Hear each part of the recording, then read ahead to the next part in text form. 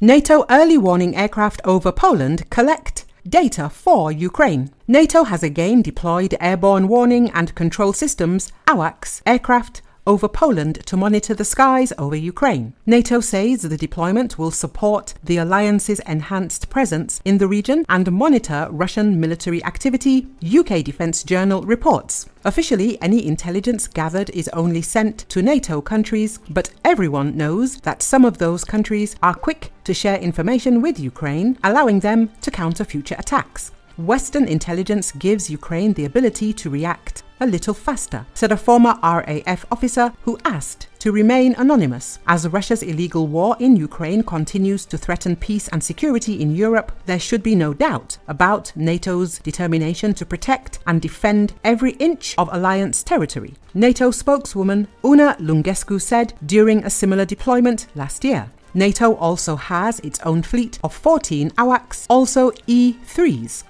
they can detect low flying targets within 400 kilometers and higher flying targets another 120 kilometers beyond that, the alliance says. It says one AWACS can survey an area the size of Poland, three can cover all of Central Europe.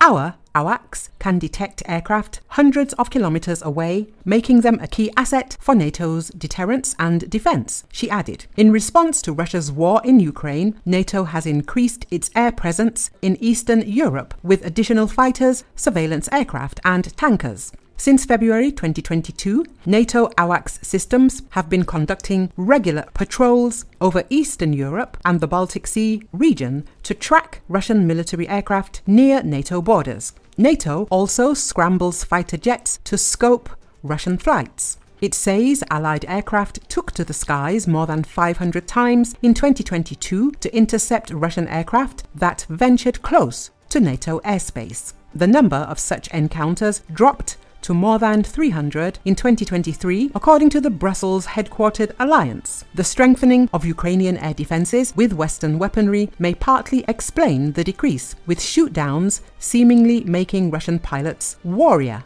NATO observed reduced activity by manned Russian flights over the western Black Sea last year. NATO says the vast majority of aerial encounters between NATO and Russian jets were safe and professional, and that Russian incursions into NATO airspace were rare and generally short.